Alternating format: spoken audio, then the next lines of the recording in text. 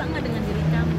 Kata-kata yang menguatkan semangat Rifda ini diucapkan Eva Butar-Butar usai anak asuhnya menyelesaikan pertandingan di Olimpiade Paris 2024. Cedera lutut yang dialami Rifda saat persiapan tampil di Paris ditambah riwayat cedera yang sama yang dimilikinya membuat Rifda harus berjuang keras menyelesaikan penampilannya. Kondisi ini pun membuat Rifda hanya tampil di alat palang bertingkat dari empat alat yang sebelumnya direncanakan.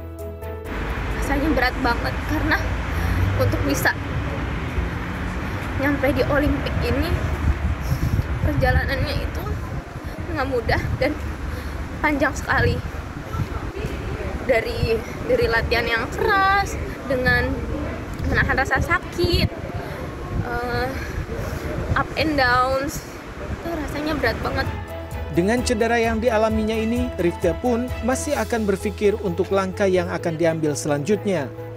Jadi dia masih harus uh, mencerna dulu semua semuanya ke depannya gimana? Tadi sih kita udah ngobrol-ngobrol sekilas, masih kepingin, masih segala macem. Tapi itu tadi kita uh, kan ini vibes-nya kan vibes pertandingan gitu. Jadi masih udah masih pingin, masih pingin. Deh, kita mau ini dulu, cooling down dulu sampai Rifda mikir untuk what next.